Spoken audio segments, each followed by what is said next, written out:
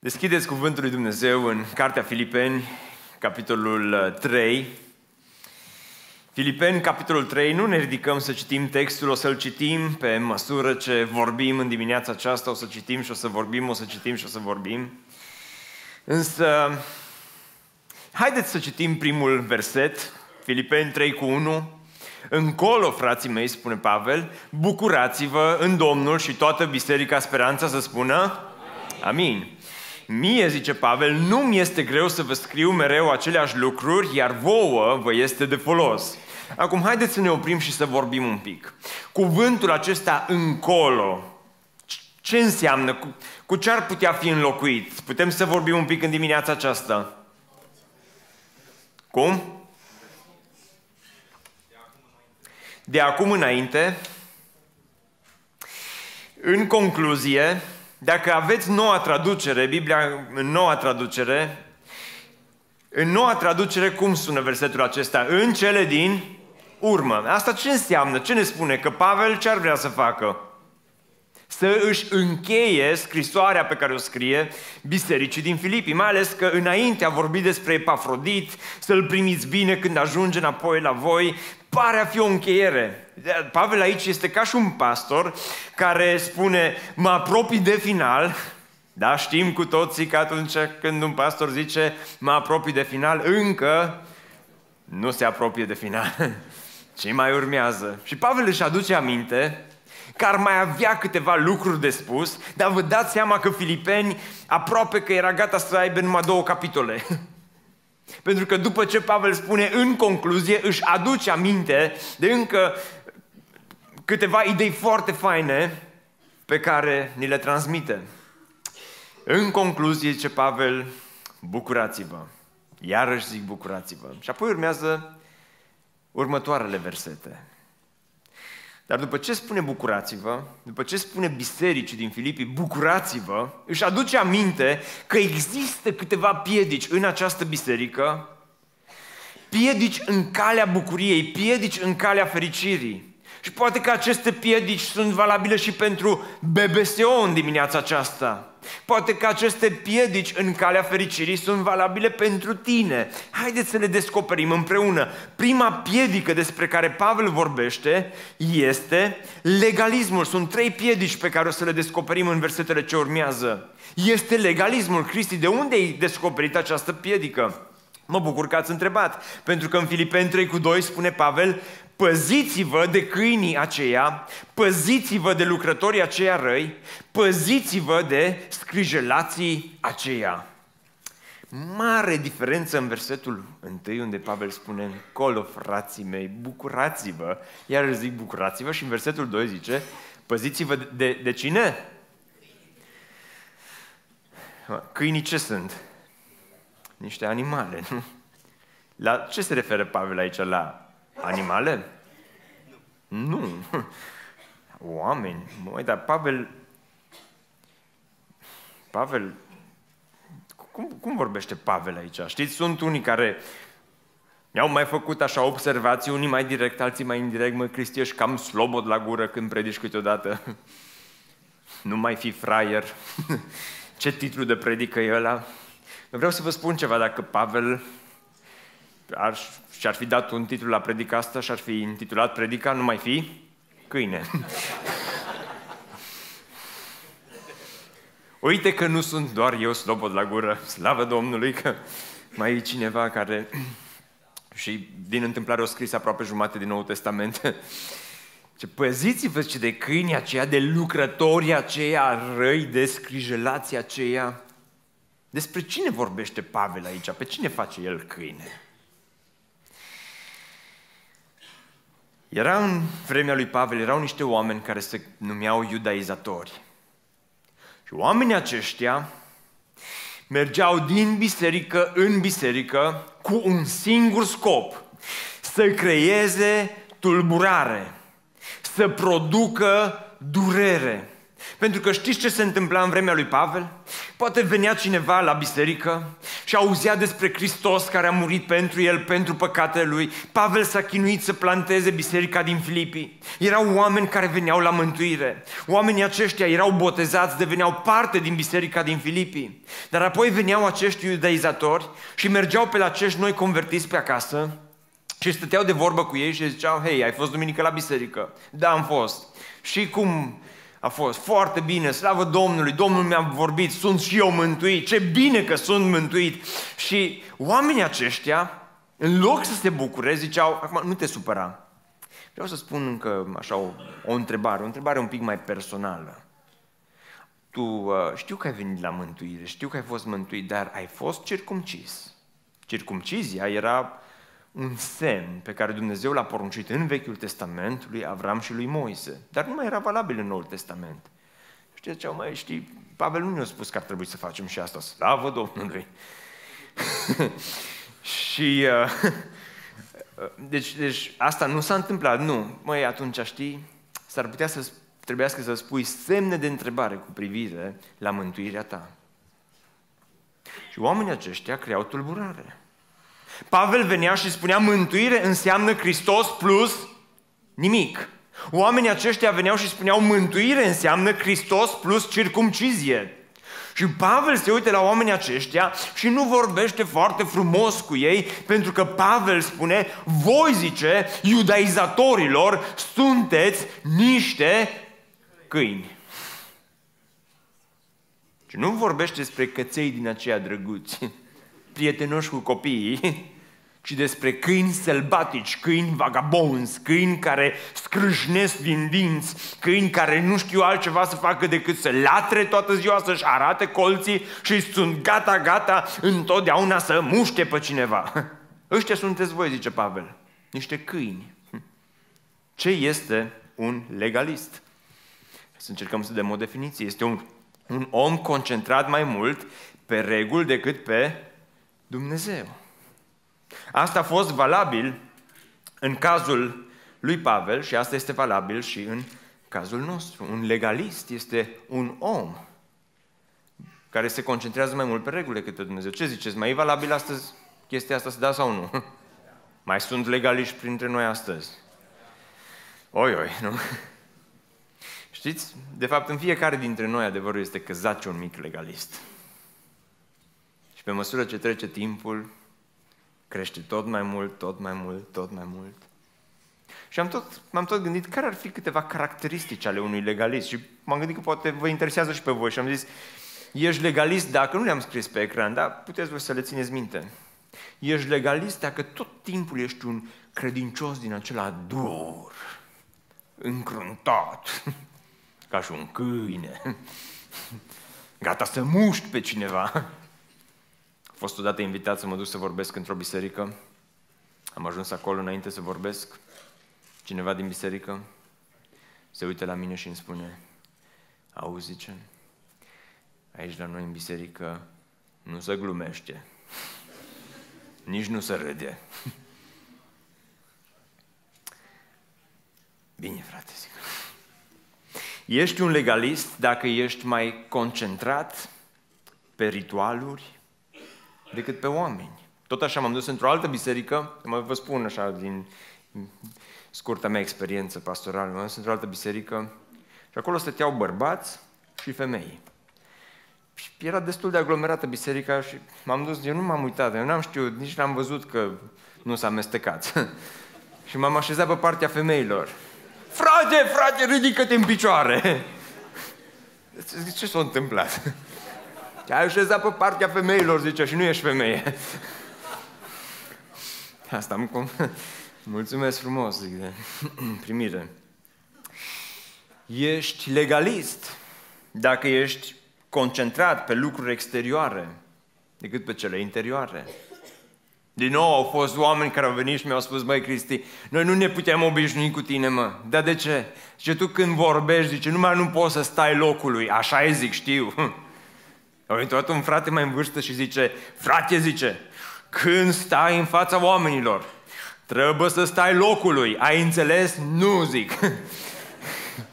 Zice, dacă vrei să te asculte oamenii, trebuie să stai, zice, la învon. cravata trebuie să fie perpendiculară pe amvon, în așa fel încât să se formeze o cruce perfectă. Ai înțeles? Am înțeles. Domnul să fie cu tine. Amin. Ești legalist dacă suferi de mândrie spirituală și îi desconsider pe ceilalți, ca și farisei. Vă amintiți rugăciunea lor? Doamne, îți mulțumesc că nu sunt ca vameșul acesta. Doamne, îți mulțumesc că nu sunt ca ăia de la BBSO care cântă muzică rock. îți mulțumesc, Doamne.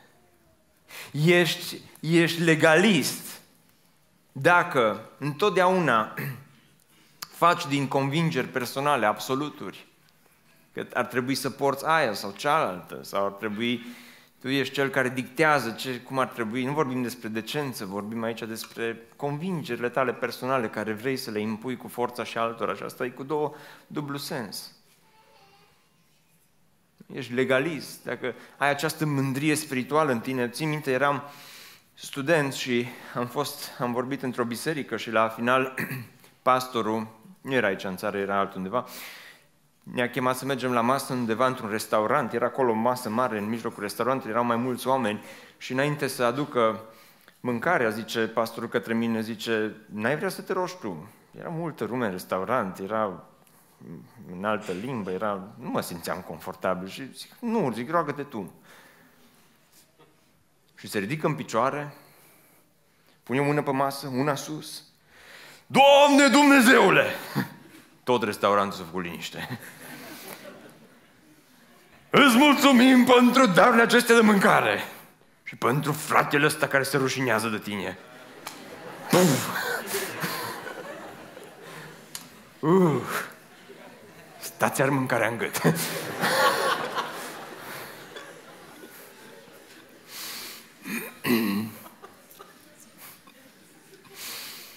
Am glumit. Doamne, iartă-mă că n-am glumit.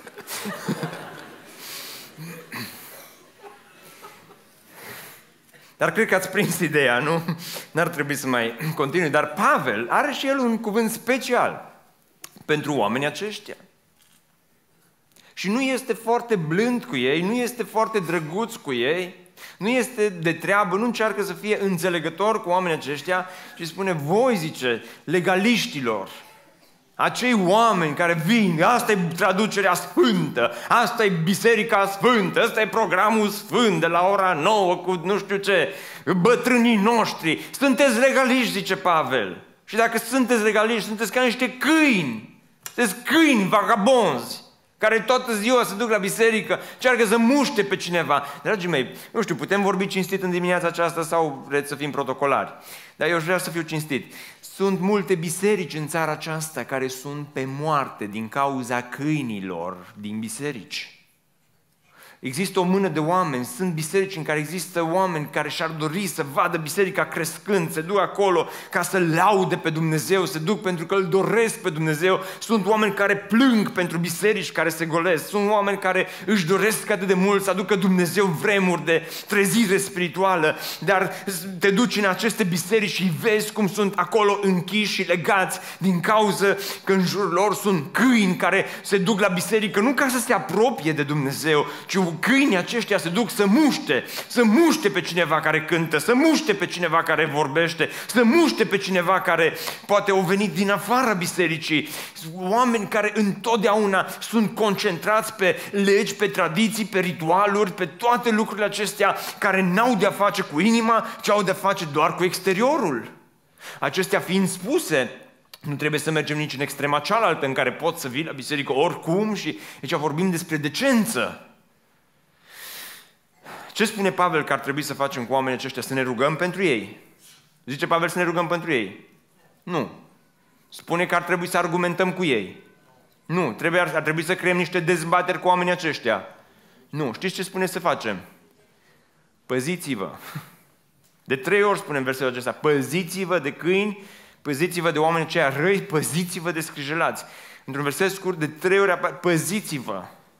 Oamenii aceștia trebuie doar să te păzești, nici să te rogi cu ei, nici să uh, te rogi pentru ei, nici să stai de vorbă cu ei, nici să argumentezi, nici să scrii pe bloguri despre ei, nici să predici despre ei. Oamenii aceștia trebuie doar să te păzești. Doamne, păzește-ne de astfel de oameni. Și păzește biserica de astfel de oameni. Și păzește bisericile de astfel de oameni. Pentru că Dumnezeu ne cheamă la o relație autentică cu El, nu la legalism. Doi, a, a doua, a doua piedică în uh, calea fericirii poate să fie religia. Haideți să vedem ce spune Pavel mai departe. În versetul 4 la 6 spune, măcar că eu aș avea pricină de încredere chiar în lucrurile pământești. Dacă altul crede că se poate încrede în lucrurile pământești, eu și mai mult. Eu care sunt tăiat împrejur a opta zi din neamul lui Israel, din seminția lui Beniamin, evreu din evrei, în ce privește legea fariseu, în ce privește râvna prigonitor al bisericii, cu privire la neprihănirea pe care o dă legea fără prihană. Dragii mei, atunci când venim înaintea lui Dumnezeu, fiecare dintre noi simțim nevoia să-i aducem lui Dumnezeu un CV spiritual, CV-ul nostru spiritual care, cu care să-L impresionăm pe Dumnezeu. Câți dintre voi ați încercat să-L impresionați pe Dumnezeu cu CV-ul vostru spiritual? Și încerci să pui acolo pe listă toate lucrurile bune pe care tu le-ai făcut, pentru ca Dumnezeu să se uite la tine și să spună, uite mă, ce, ce simpatic e Cristi, foarte de treabă tipul ăsta, știi? Uite câte chestii faine a făcut Cristi. Pavel spune, eu am avut un CV spiritual. Mi-aduc aminte, eram, eram student, eram plecat din țară și trebuia să mă angajez să lucrez undeva, să mă pot întreține și am găsit un job la care vreau să, pentru care vreau să aplic, dar aveam nevoie de un CV. Acum, în viața mea, aveam 22 de ani, în viața mea nu mai scrisesem un CV. Nici nu știam ce e la CV. Am vorbit cu un coleg și am întrebat, vrei să mă ajut să scriu, să-mi scriu CV-ul? Sigur, zice, nicio problemă. Patru pagini am umplut. Vă dați seama ce experiență acumulasem până la 22 de ani. Am scris acolo, așa, de toate. Dacă am cumpărat bilet de tramvai, am pus în CV. Întreprinzător. Nu?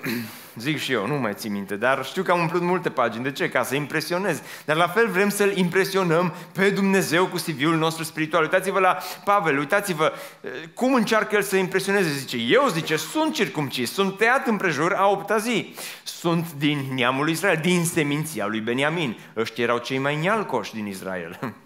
Ăștia din seminția lui Beniamin. Nu erau oricine. Ăștia erau, domnule, acolo. Kennedy, știi? Era o familie de familie. Evreu din evrei. În ce privește legea, fariseu, oamenii aceștia, farisei, erau niște oameni care încercau să țină cu strictețe absolut toate legile, plus și au mai făcut ei încă 600 de legi față de Vechiul Testament pe care le țineau cu o strictețe incredibilă. Că să vă dau un exemplu. Oamenii aceștia dădeau zeciuială regulat, dar nu oricum. Dădeau zeciuială inclusiv din raftul de condimente. In și măr, din, nu știu ce era, mărar și mai era ceva. Ha? Chimen. Ce vreți voi să fie? Din oregano.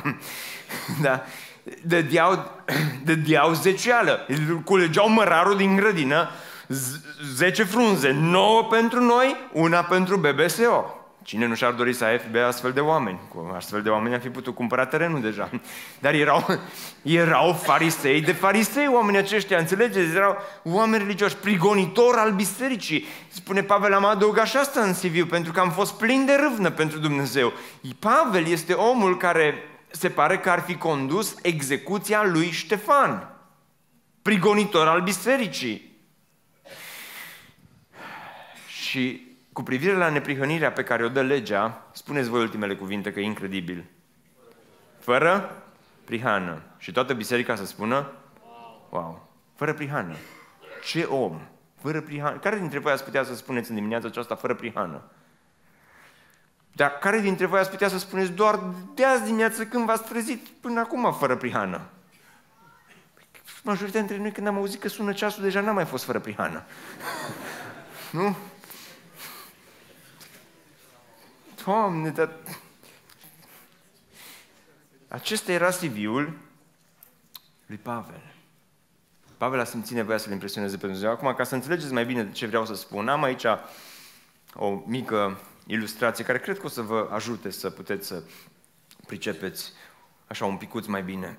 Hai că mut și ăsta de aici ca să puteți să vedeți toți.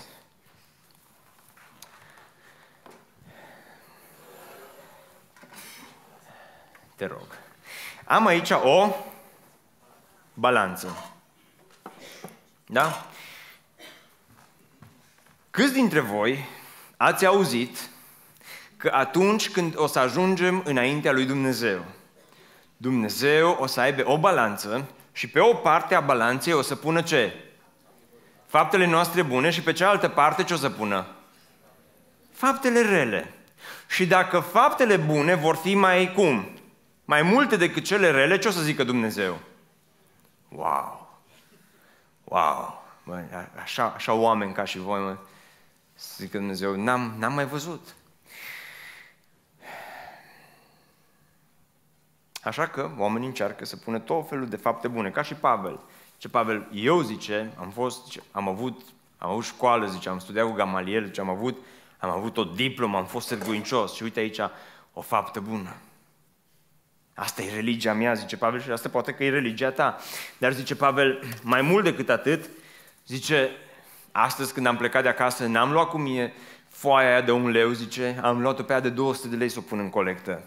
Că din când în când, zice, trebuie să dăm și bani la biserică și zice, vreau să fac o faptă bună, slavă Domnului pentru aceasta. Și spune Pavel, nu doar atât, dar zice, eu am auzit că trebuie să mergem să-i ajutăm și pe alții, așa că zice, eu am mers și am ajutat și pe alții să meargă și să, să lucreze și am făcut încă o faptă bună ca să fie Dumnezeu impresionat cu mine. Dar de cealaltă parte, pentru fiecare faptă bună, tu știi că ai făcut și fapte rele, că știi ce gânduri ți-au trecut prin minte, știi ce ai încercat să, să faci, știi cum ai mințit, știi cum ai furat, știi cum ai făcut banii ăștia. Și întotdeauna este această tensiune în religie, că tu încerci să fii bun, tu încerci să-L mulțumești pe Dumnezeu, dar nu reușești pentru că faci o faptă bună, dar faci și încă cinci din alea rele. Și toate aceste lucruri sunt acolo și este această tensiune care apasă pe sufletul tău, pe viața ta, pentru că tu, tu, tu știi la ce te-ai uitat aseară, da? Tu, tu știi uh, ce, ce s-a întâmplat, ai mai făcut încă o faptă bună, ai zis, mă duc să duc mâncare la săraci și ai zis, uh, mă duc să cumpăr medicamente pentru cei care nu au. Și ai zis, îmi deschid casa pentru alții și ai spus vreau să am o familie bună și încă o faptă bună și le pui acolo pe toate și dar întotdeauna vreau să dau din, din, din, din timpul meu și încă o faptă bună, dar le pui pe toate acolo pe balanța aceasta și tot încerci toată viața să îl mulțumești pe Dumnezeu cu religia ta, cu CV-ul tău spiritual. Dragii mei, Dumnezeu nu are nevoie de CV-ul nostru spiritual. Pentru că există o diferență mare între religie și Evanghelia lui Isus Hristos. Religia întotdeauna este despre mine. Eu sunt acolo în centru. Evanghelia, dragii mei, întotdeauna are de-a face cu Isus Hristos. Și nu cu mine. Amin. Religia întotdeauna îi împarte pe oameni în două categorii. Îs ăia buni și ăia răi. Înțelegeți? Evanghelia ce spune? Căci toți au păcătuit și sunt lipsiți de slava lui Dumnezeu. Religia are de-a face cu ceea ce fac eu. Domnule, uite, uite câte fapte bune am făcut. Uite câți bani am dat. Uite ce diplome. Uite, uite cum m-am dus eu și m-am preocupat de aia săraci. Și după ce faci o faptă bună, încep să te lauzi. Uite cine sunt eu. Și crezi că în felul acesta poți să obții favorul lui Dumnezeu. Dar Evanghelia are de-a face cu ceea ce a făcut Isus. Vezi, zice Cristi, ce a făcut Isus, s-a născut în lumea noastră, a trăit o viață pe care noi n-am fi putut să o trăim, o viață neprihănită, fără păcat. A murit o moarte pe care noi o meritam, a înviat și s-a înălțat la cer și ne-a oferit nouă viață veșnică. Asta a făcut Isus Hristos, aceasta este Evanghelia. Religia spune sunt bine așa cum sunt, lasă că sunt alții mai răi decât mine. Religia întotdeauna te compari, dacă sunt alții mai buni, intri în depresie, dacă sunt alții mai răi, te mândrești. Evanghelia spune am nevoie de mântuire, am nevoie disperată de mântuirea lui Dumnezeu, că dacă nu mă duc direct în fundul iadului. Religia oferă întotdeauna nesiguranță, îi întreb pe oameni de multe ori când stau de vorbă cu ei, dacă ar fi să mor la noapte, unde te vei duce? Unde îți vei petrece veșnicia? Știți care este răspunsul pe care îl primesc cel mai des? Știe Dumnezeu. Da? Nu știu. Dar când crezi în Evanghelie, când accepti Evanghelia în viața ta, spune Ioan, vi-am scris aceste lucruri ca să ce?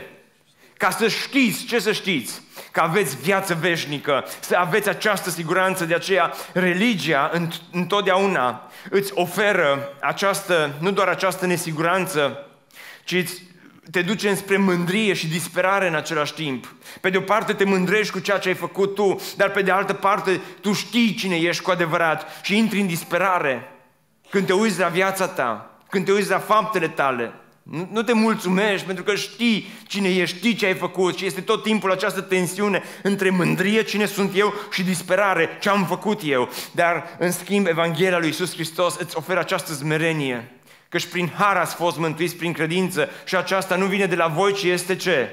Darul lui Dumnezeu, nu prin fapte ca să nu se laude nimeni, slavă lui Dumnezeu, că nu ne-a mântuit prin faptele noastre bune, ci ne-a mântuit pe baza jertfei lui Isus Hristos. De aceea, spune Pavel, eu am avut toate aceste lucruri trecute pe CV-ul meu, dar zice, o trebuie să trag peste toate și pe CV-ul meu, spune Pavel, au mai rămas doar două cuvinte. Știți care sunt acele cuvinte? Isus, Hristos. Amin. Amin. Dragul meu, Dumnezeu așteaptă de la tine un singur lucru în dimineața aceasta, să-ți pui toată încrederea, să-ți bazezi viața nu pe faptele tale bune, ci să-ți bazezi întreaga ta viață pe Isus Hristos și pe jertfa lui Isus de la Calvar pe ceea ce a făcut Hristos în locul tău. Hristos ți-a scris CV-ul, Hristos ți-a șters păcatele de pe CV-ul, Hristos ți-a corectat CV-ul, Hristos spune toate aceste lucruri, zice, cele vechi s-au dus, i-au făcut CV-ul tău unul nou, slavă Domnului. De, de multe ori religia este o piedică pentru mulți dintre noi ca să ne putem apropia de Dumnezeu. Trebuie să fii o persoană morală, spune religia. Nu. Trebuie să crezi în Isus Hristos și apoi urmează și faptele pe care le faci. A treia piedică în calea fericirii nu este doar legalismul, nu este doar, doar religia, ci s-ar putea să fie câștigurile. Pentru că uitați-vă ce spune Pavel, zice, lucrurile care pentru mine erau câștiguri, le-am socotit ca o pierdere din pricina lui Isus Hristos. Pavel trece dincolo de toate aceste lucruri pe care le enumeră și spune, eu când mi-am început viața, am avut anumite obiective, am avut anumite scopuri, am avut anumite ținte. Zice, am vrut să fiu un om de succes și, dragii mei, dacă nici Pavel n-a ajuns un om de succes, atunci nu știu cine. Înțelegeți? Dar spunea Stephen Covey la un moment dat, zice, în, în viață, zice, mi-am dorit să urc pe scara succesului. Și când am ajuns în vârf, zice, mi-am dat seama că am sprijinit-o pe peretele greșit. Și s-ar putea că lucrul acesta să fie valabil pentru foarte mulți dintre voi. Poate și tu, dragul meu, ți-ai sprijinit scara pe, pe peretele greșit, ți-ai dorit să ai anumite lucruri în viață. Ți-ai dorit să ai titluri, ți-ai dorit să ai diplome, ți-ai dorit să ai anumite realizări și acestea nu sunt neapărat lucruri rele, dar Pavel aici vorbește despre o inversare a priorităților. Despre asta este vorba o inversare a priorităților. Pentru că mulți dintre voi vi-ați pus și mulți dintre noi ne-am pus încrederea în lucrurile pământești, exact cum spune Pavel. Ai avut așteptări, ai așteptări de la familie, ai așteptări de la sos, ți-ai pus încrederea în apartament, casă, mașină, bani, slujbă. Ți-ai pus încrederea, ți-ai proptit scara pe a fi cineva. Nu asta își doresc toți românii. Hai mă să mergem și noi, să facem bani, să avem, să adunăm, să alergăm după toate lucrurile acestea. Am aici un prieten, nu-i dau numele, în urmă cu mulți ani am împărtășit împreună cu mine și stă pe primul rând că... am glumit, Vlad. Băi, ce mi-aș dori, acum nu mai pot să folosesc ilustrația, mi-aș dori să ajung om mare, zic și eu. Nu se supără el, ce... Mi-aș dori să ajung un om mare din șase cifre la un moment dat, și nu în lei, în euro. Șapte cifre, scuze, vezi, mai indus în eroare. Șapte cifre, nu? Să, să pot să fac un milion de euro. Dar poate ăsta a fost și visul tău. Nu, Domnul să vă ajute pe toți să faceți un milion de euro ca să puteți da zecioale la speranța. Amin. Nu e un lucru rău neapărat, dar este vorba, de, este vorba despre priorități. Sunt prioritățile corecte sau sunt inversate pentru că lumea aceasta în care trăim, reclamele din lumea aceasta, televizorul din lumea aceasta, calculatorul, tot îți spun, hei, dacă nu ai ultimul tip de pantof care a apărut, ești un zero, nu contezi, mă. Dacă ai câteva kilograme în plus, vai șamar. Pe tine cântarul te definește. Cine ești și cum ești. Și pentru tine astea sunt câștiguri. Dacă reușești să obții, să pierzi, să, să, uh, să slăbești câteva kilograme, dacă reușești să-ți cumperi ultimele haine, câștiguri pentru tine, îi să te poți duce, să te plimbi prin mall toată ziua, să ai ultimele gadgeturi care au apărut, să, să poți să-ți permiți să fii un macho din ăsta, să te plimbi cu mașina prin oraș, să, cu fete, gagiși, toată ziua. Astea sunt pentru tine câștiguri. Asta e viața ta. Spune Pavel, eu am fost acolo, zice, am trecut pe drumul acesta. Și am crezut că sunt câștiguri. Mi-am proptit și eu scara, zice, de peretele ăsta de câteva ori. Am încercat și eu să văd cum îi. Deci când am ajuns în vârf, peretele era greșit. Și asta s-ar putea să fie valabil în cazul multora dintre voi. De aceea uitați-vă cum continuă și uitați-vă ce spune. Spune în versetul 8, privesc toate aceste lucruri ca o pierdere față de prețul nespus de mare al cunoașterii lui Hristos Isus. Amin. Amin. Observați, pentru El, zice, am pierdut toate și le socotesc ca un, spuneți voi cu voce tare, ca un ce? Ca un gunoi. wow, ca un gunoi ca să câștig pe cine? Pe Hristos. Pavel spune toate aceste câștiguri, inclusiv religia, inclusiv legalismul, zice, acum mă uit în urmă și toate, știți ce sunt toate, zice Pavel? Hai să vă arăt.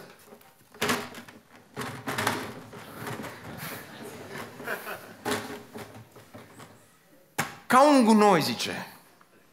Toate astea pentru mine, zice, sunt gunoi. Odată, zice, toate au însemnat ceva. Dar acum, zice, să stau, zice, să îi ajut toată ziua pe alții, zice, și să cred că am câștigat eu ceva și să mă laud cu asta gunoi.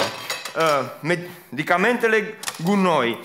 Casa pe care mi-am cumpărat-o ce gunoi. Uh, timpul pe care l-am dat altora încet, gunoi. Da? Mi-am pus încrederea în familie, zice Pavel, dar am inversat prioritățile, nu că era familia, dar totul, zice, acum este gunoi. Uh, trebuia să arunc ciocanul înaintea ceasului. Acum este testul adevărat. gunoi. Banii, gunoi. Diplomele, gunoi. Toate celelalte filme la care m-am uitat, toate sunt gunoi, zice Pavel. Toate aceste lucruri care am crezut că simbolizează ceva, acum, zice, sunt toate un gunoi, zice. Și, dragii mei, mulți dintre noi, e ok, îmi cumpăr alt ceas, nu vă mai gândiți la el. mulți dintre voi, asta faceți. Asta facem în fiecare zi. Ne plimbăm prin lumea aceasta și credem că ducem lucruri importante după noi, dar de fapt ne plimbăm prin lumea aceasta cu tomberonul după noi. Asta e viața ta, cu asta te plimbi în fiecare zi. Pentru asta alergi, pentru asta în fiecare zi... Wow, fii atent ce-am, ce-am primit! Wow, uite, uite ce mi-am cumpărat! Vai de capul meu! Uite-te! Și totul este gunoi, spune Pavel. Toate acele lucruri, zice, în care eu mi-am pus încrederea, nu m-au ajutat. Nu mi-au adus fericire. Nu m-au împlinit. Și te stresezi pentru gunoi și plângi după gunoi și furi gunoi și împarți gunoi. Nu că sunt neapărat lucruri rele, dar întrebarea este, unii o să mă întrebați acum, Cristi, ce trebuie să facem? Mergem, împachetăm totul, în, vine rerul și le duce pe toate săptămâna viitoare. Sau despre ce este vorba? Nu despre asta este vorba, este vorba despre priorități. Pentru că Biblia spune, căutați mai întâi împărăția lui Dumnezeu și neprihănirea lui și toate celelalte lucruri veți se vor da pe deasupra. Amin. Despre asta este vorba. Despre asta este vorba. Nu să faci din astea priorități, ci să faci în primul rând prioritate din cine? Din Iisus Hristos, El să fie Domnul vieții tale, El să fie totul pentru tine. Și acum, spun și eu ca și Pavel, încolo, frații mei, sau în cele din urmă, și credeți că se termină predica, sunt trei piedici. Hai să ne amintim cele trei piedici. Prima, legalismul. Spuneți cu toții voce tare. Prima, legalismul. Doi, religie. Trei, câștigurile. Și acum, cum putem să uh, trecem peste piedicile acestea? Ce, cu ce să le înlocuim? Că nu poți numai să vorbești despre ele, trebuie să fie ceva acolo. Două sfaturi vreau să-ți dau. Unu, înlocuiește neprihănirea ta cu neprihănirea lui Dumnezeu și toată biserica să spună Amin. Pentru că uitați-vă ce spune Pavel în Filipeni 3 cu 9, să fiu găsit în el, nu având o neprihănire a mea pe care mi-o dă legea, ci aceea care se capătă prin credința în Hristos, neprihănirea pe care o dă Dumnezeu prin credință. Amin. Asta așteaptă Dumnezeu de la noi. Vă, vă amintiți că în versetul 4 spune, în ce privește legea, zice, eram fără prihană. Dar zice, era neprihănirea mea, era neprihănirea legii. Acum, ca să înțelegem versetul acesta, trebuie să înțelegem cuvintele. Ce înseamnă neprihănire? Nevinovăție. Ce altceva înseamnă neprihănire? Îndreptățire, nu? Hai să vă explic, ca să... E, e fain când înțelegem Biblia. De asta hai să o explicăm un pic. Ce înseamnă neprihănire? Înseamnă îndreptățire. Ce înseamnă îndreptățire? Înseamnă justificare. Toate sunt cuvinte astea teologice mari despre care putem vorbi. Însă, s-a întâmplat ceva. Noi eram oameni păcătoși, spune Biblia, spune Isaia. Noi rătăceam în lumea aceasta, toți rătăceam ca niște oi. Fiecare își vedea de drumul lui. Fiecare dintre noi era un om păcătos. Căci toți au păcătuit și sunt lipsiți de slavă Lui Dumnezeu. De aceea noi singuri nu puteam deveni fără păcat, adică neprihăniți. De aceea Dumnezeu l-a trimis pe Iisus Hristos ca să moară. Peste câteva săptămâni vom sărbători în locul acesta moartea și învierea lui Iisus Hristos. Și abia așteptăm să vină această sărbătoare. Dar, dragii mei, Hristos a murit. Nu doar ca să ne ofere un exemplu, Hristos a murit pentru că acolo pe cruce, Hristos a făcut ceva, ne-a îndreptățit înaintea lui Dumnezeu. Acolo pe cruce, Hristos a purtat păcatul tău și păcatul meu. La cruce, Biblia spune că Isus Hristos a dus tot gunoiul nostru, toate faptele noastre rele, toate curviile noastre, toate gândurile noastre, toate pornoșagurile noastre, toate minciunile, toate hoțiile, Hristos le-a purtat pe cruce. Și Hristos a murit pentru ca Dumnezeu să se uite la un om păcătos ca și mine și ca și tine și Dumnezeu să declare, în momentul în care îmi pun încrederea în Dumnezeu și îl accept pe Iisus Hristos în viața mea ca Domn și Mântuitor, Dumnezeu face ceva. Se uite la mine un om păcătos și Dumnezeu declară în dreptul meu, Hristos, eh, Cristi este îndreptățit datorită lui Iisus Hristos. Deși este păcătos, deși este slab, deși mai are căderi, Cristi, mă uit la El prin crucea lui Isus Hristos, prin jertfa lui Isus Hristos și de azi înainte îl declar pe Cristi, un om neprihănit, nu datorită faptelor bune ale lui Cristi, ci datorită jertfei lui Isus Hristos. Dumnezeu face un transplant de neprihănire, dacă vreți. Când Hristos a murit, Dumnezeu a luat neprihănirea ta proprie și păcatele tale și a pus-o asupra lui Isus la cruce și, Christ, și Dumnezeu a luat neprihănirea lui Hristos și ți-a dat-o ție te-a dezbrăcat pe tine de omul cel vechi și te-a îmbrăcat, spune Biblia, în neprihănirea lui Isus Hristos. Slavă Domnului pentru ceea ce a făcut.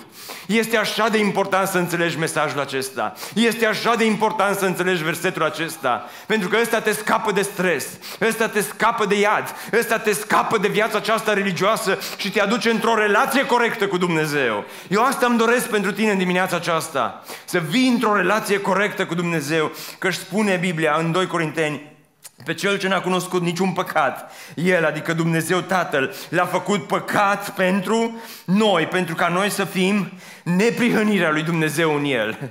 Ce frumos vorbește Pavel când spune în versetul acesta și să fiu găsit unde? În el, dragii mei, nu în biserică, să fiu găsit nu într-o religie, să fiu găsit nu în club, să fiu găsit nu în baruri, ci să fiu găsit în Hristos. Cel mai bun loc în care tu poți să te ascunzi în dimineața aceasta nu este undeva într-o biserică, ci este în Hristos. Să vii să fii în Hristos și să spui, Doamne, eu până acum mi-am trăit propria mea viață, dar acum am nevoie de Tine. Doamne, vreau să arunc religia aia păcătoasă. Vreau să arunc, Doamne, CV-ul la meu pe care eu mi l-am scris și știu că nu-i bun. Doamne, vreau să arunc toate câștigurile care am crezut că o să-mi aducă fericire și nu mi-au adus. Vreau să le arunc pe toate și vreau să vin la crucea lui Isus Hristos. Nu mai vreau să mă plimb cu gunoiul prin lumea aceasta. Nu înțelegeți despre ce este vorba, ce frumos.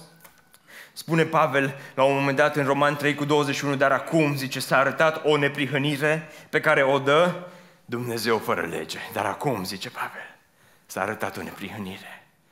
S-a manifestat această neprihănire la crucea lui Isus Hristos. Al, al doilea sfat care vreau să ți-l dau și să închei. Fă din Isus Hristos, dragul meu, ambiția vieții tale. Amin. Dacă vrei să, să, să, să scapi de, și să spui prioritățile în mod corect, nu doar că trebuie să te îmbraci cu neprihănirea lui Isus Hristos și să renunți la gunoi, dar fă din Isus Hristos ambiția vieții tale, pentru că uitați-vă ce spune Pavel în versetul următor, în Filipeni 3 cu 10, și să-L cunosc pe cine? Pe El. Și? Puterea învierii Lui și părtășia suferințelor Lui și să mă fac asemenea cu moartea Lui și să-L cunosc pe El. Dragii mei, Pavel aici nu vorbește despre o cunoaștere superficială. Pavel aici nu vorbește despre o cunoaștere de duminica. Pavel spune aici, atât de mult mi-l doresc pe Iisus Hristos încât îmi doresc să-mi împletesc viața. Viața mea vreau să se împletească cu viața lui Iisus Hristos. Zice Pavel, vreau să-L cunosc pe El mai mult decât vreau familie, mai mult decât îmi doresc sănătate, mai mult decât îmi doresc gadgeturi, mai mult decât îmi doresc iPhone, mai mult decât îmi doresc mașină, mai mult decât îmi doresc slujbă, mai mult decât îmi doresc să mă căsătoresc, mai mult decât îmi doresc copii, mai mult îl vreau pe Isus, mai mult decât toate acestea. Asta îmi doresc, zice Pavel. Pentru că noi, prin natura noastră, Adevărul este că suntem oameni care nu asta ne dorim. Hai să fim sinceri cu noi înșine și să recunoaștem că noi nu asta ne dorim, ci noi ne dorim cu totul altceva. Noi vrem bani, bani, bani. Noi, noi, noi vrem lucruri, noi vrem câștiguri, noi vrem, vrem faimă, noi vrem haine, noi vrem magazine, noi vrem vacanțe luxoase, noi vrem calculatoare, noi vrem o pensie liniștită. Astea sunt lucrurile care noi le vrem, dar spune Pavel, toate acestea nu-ți vor împlini viața. Poți să ți le oferi pe oricare dintre ele și să fac un experiment cu oricare dintre voi și să-ți oferi bani, bani, bani, vacanțe, vacanțe, vacanțe. Nu o să fii fericit, o să fii mizerabil. Spune Pavel să-L cunoști pe Isus. Și cunoașterea aceasta nu este o cunoaștere de duminica dimineața în care vii, ai ascultat o predică și l-ai cunoscut. Cunoașterea despre care vorbește Pavel aici este o cunoaștere continuă. Și anume, dacă trece o zi din viața ta în care n-ai cunoscut mai mult despre dragostea lui Dumnezeu, despre măreția lui Dumnezeu și despre frumusețea lui Dumnezeu, ziua aceea este o zi irosită. Pentru că, dragul meu, Dumnezeu nu te-a creat în lumea aceasta ca să bifezi tascuri. Dumnezeu te-a creat ca să-L cunoști pe El și să intri într-o relație autentică cu Dumnezeul tău. Să-L cunoști pe El, zice. Și puterea învierii Lui. Puterea învierii Lui Iisus Hristos. Creștii, dar sunt slab. Știu. Dar tu ai parte de puterea învierii Lui Iisus. Acum aș putea să-ți predic despre puterea învierii. Despre puterea care a dat piatră la o parte despre puterea care l-a ridicat pe Hristos din mormânt, despre puterea care l-a înălțat pe Hristos și a dat numele care este mai presus de orice nume, despre puterea care a zdrobit moartea, cu moartea, pe moarte călcând pentru totdeauna, despre puterea care l-a făcut pe Isus să fie Domn pentru totdeauna în vecii vecilor despre puterea aceasta pe care Dumnezeu ți-o pune la dispoziția ta, chiar acum în aceste momente. Tu poți să pleci de aici un om schimbat, tu poți să pleci de aici un om transformat, tu poți să lași deoparte toate celelalte gunoaie din viața ta și să îl iei pe Isus, să-l apuci pe Isus Hristos chiar acum în dimineața aceasta, să-i spui, Doamne, am nevoie de Tine mai mult decât orice. Pentru că despre asta este vorba. Despre asta vorbim, dragii mei. Despre puterea Lui. Să-L cunosc pe El. Și puterea învierii Lui. Și spune Pavel, și să mă fac și părtășia suferințelor lui. Nu-ți pot promite în dimineața aceasta că o să fie ușor, nici că o să fie bine, nici că nu vei suferi. Dar Hristos a suferit și când îl cunoști pe El, cu Isus te poți duce frumos și prin moarte. și prin suferință. Să cunosc, să-L cunosc pe El. El devine ancora vieții tale și să mă fac asemenea cu moartea Lui. Îl cunoști pe Hristos. Îl cunoști pe Dumnezeu. Nu te întreb dacă știi ceva despre Dumnezeu sau dacă știi ceva despre Isus sau dacă știi ceva despre Biblie sau despre vreo, vreo religie. Te întreb dacă îl cunoști. L-ai cunoscut săptămâna trecută mai mult. L-ai cunoscut astăzi mai mult decât ieri.